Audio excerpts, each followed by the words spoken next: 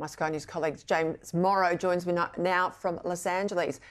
James, I was talking to an election analyst today. He said that Trump owns the three most iconic images of the campaign, and this is exactly where you want to be the weekend before the poll. The first of those is that image of him shot in that rally at Pennsylvania. Uh, the next one is him manning the drive through at McDonald's. And now today, he regards uh, Trump in the driver's seat of a garbage truck as that final image of the campaign that'll seal the deal for him next week. Uh, what do you think?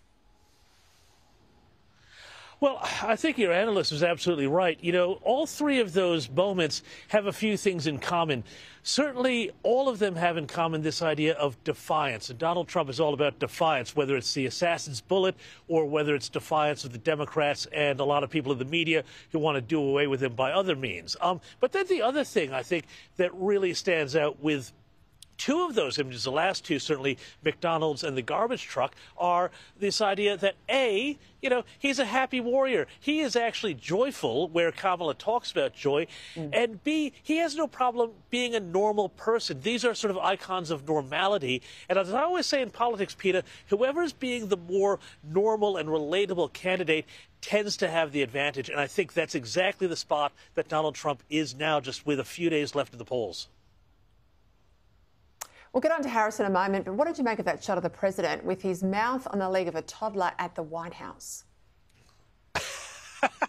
well, I mean, that's just Joe Biden being Joe Biden. But, you know, how many times have we seen him doing things where he just does strange things like, you know, chomping a toddler at, uh, at the Halloween party or sniffing hair or doing all sorts of things?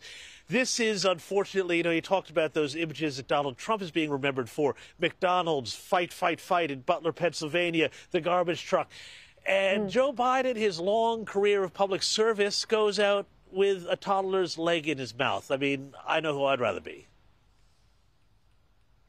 Look, I went to school in California and it's got a lot woker since I was there. So I'm going to apply a discount factor for the fact that you are there tonight, but what's the mood on the ground in the West Coast?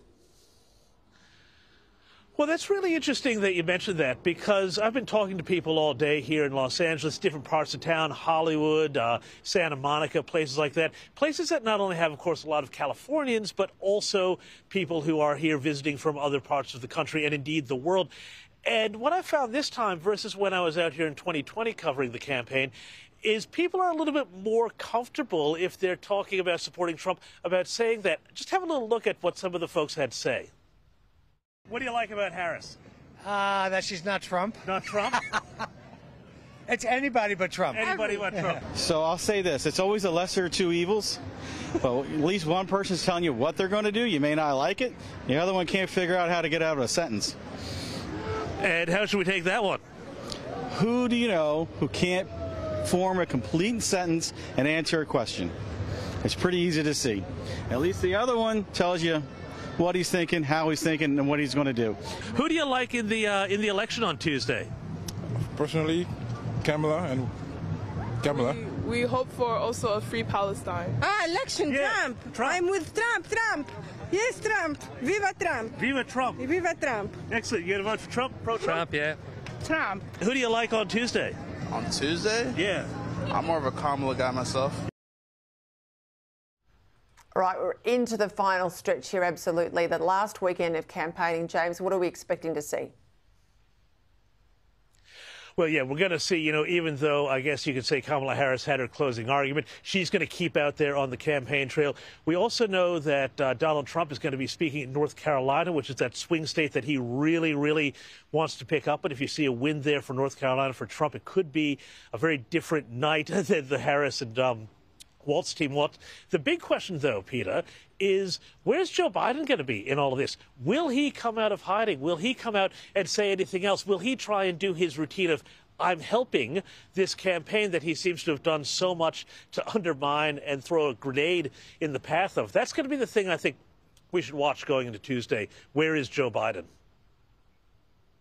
It'll be fascinating. I'll be glued to it all weekend, in and around a little bit of racing in Victoria. James, great to have your company. We'll watch you next week.